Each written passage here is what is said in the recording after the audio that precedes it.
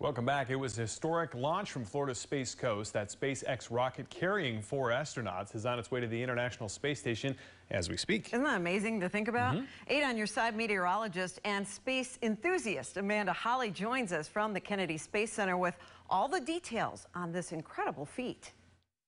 For the third time in less than a year, humans were launched from U.S. soil into space early Friday morning. The Crew Dragon capsule named Endeavour is now on its way to meet up with the International Space Station. Um, the ascent was incredible. The ride was really smooth. Uh, we couldn't have asked for anything better. Uh, there may have been some hooting and giggling up here uh, while all that was going on. The view from here at Kennedy Space Center was just as stunning. As the rocket continued to ascend, the sun's rays began illuminating the rocket's flare.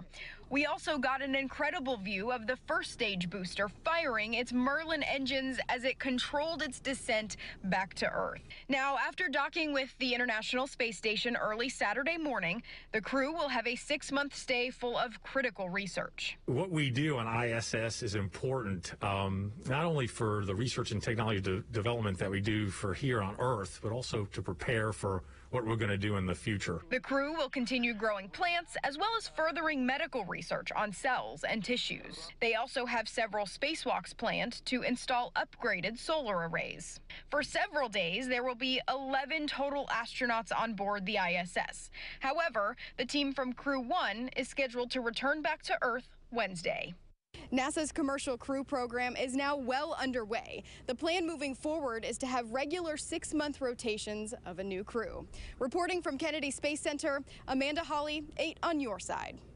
And check this out. Turns out you can see the launch from all the way over here in the Bay Area. Viewer Jody McDevitt sent us this awesome video from Westchase. You can see the rocket lighting up the sky as it left the atmosphere.